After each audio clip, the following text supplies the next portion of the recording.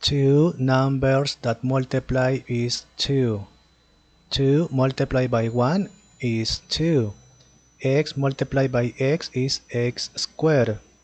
7. Two numbers that multiply is 7.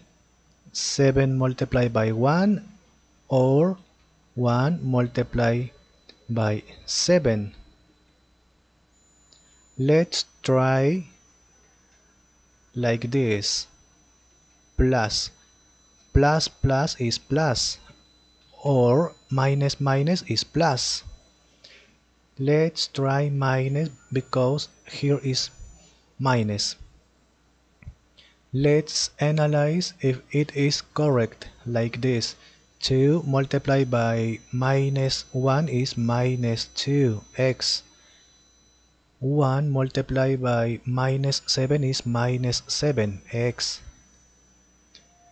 Minus 2 minus 7 is minus 9x.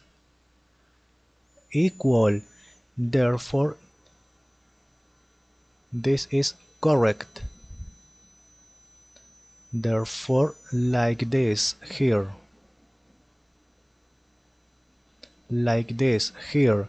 1 multiplied by x is x minus 1 equal 0 multiplication therefore this equal 0 or this equal 0 here change the sign. Plus 2 here.